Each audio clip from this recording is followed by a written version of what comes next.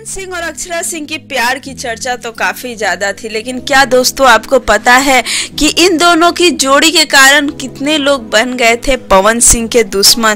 तो आप हमारा रिपोर्ट पूरा देखेंगे तो जान पाएँगे क्या था पूरा मामला और हमारे चैनल रफ्तार भारत को ज़रूर सब्सक्राइब करें।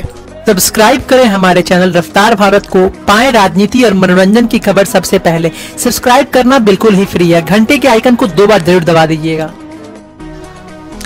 पवन सिंह और अक्षरा सिंह की जोड़ी काफ़ी फ़ेमस थी। यह दोनों एक दूसरे में ही रहते थे। करीब तीन साल पहले यह लोग दो जिसमें एक जान थे, लोगों का मानना है। और बता दे कि इसी दौरान पवन सिंह के कई सारे उनके जिगरी दोस्त बन गए दुश्मन। और यह बात को खुद पवन सिंह भी कहते हैं। जी हाँ दोस्तों उनका गाना आया था बदनाम कर दोगी। उनमें उन्होंने एक लाइन कहा है कि मतलब अब मैं तुम्हारे चलते अप, अपने दोस्तों की दोस्ती नाश नहीं करूँगा। मतलब दोस्ती नहीं तोड़ूँगा।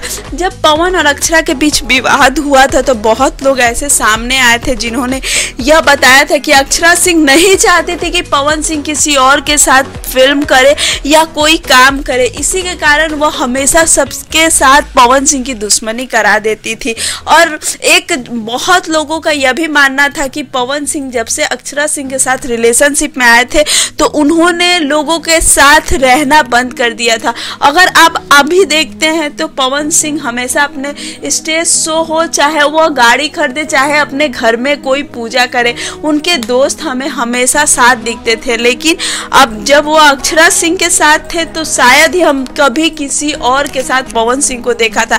भले वो फेसबुक पे लाइव है, चाहे इंस्टाग्राम पे लाइव है, हमेशा उनके साथ हमें अक्षरा सिंह ही दिखती थी। तो कहीं ना कहीं यह बातें तो सच ही है। अगर आप हमारे बात से सहमत है तो कमेंट करके ज़रूर बताएँ। और ऐसी न्यूज़ पाने के लिए आप हमारे चैनल को ज़रूर सब्सक्राइब करें लाइक करें और बेल आइकन को ज़रूर क्लिक करें।